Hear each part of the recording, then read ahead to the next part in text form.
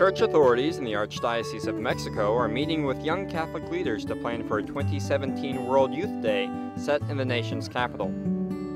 Cardinal Norberto Rivera, Archbishop of Mexico City, said that he is more interested in getting young Mexicans to Madrid for the coming World Youth Day.